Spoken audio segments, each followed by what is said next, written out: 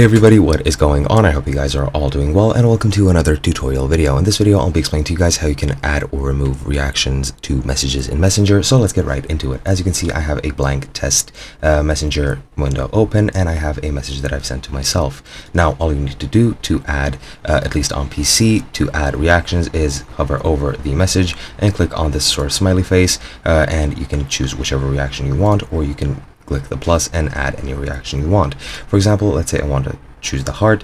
All you need to do is just click the heart and it'll appear as a reaction.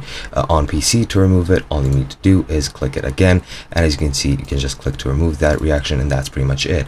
Uh, the only uh, difference between PC and the mobile version uh, instead of hovering and clicking the smiley you just uh, tap and hold the message and the message or the reaction will will appear.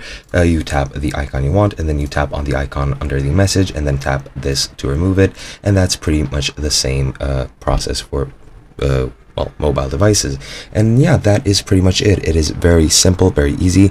Hope you guys enjoyed, and I'll be seeing you guys in another video.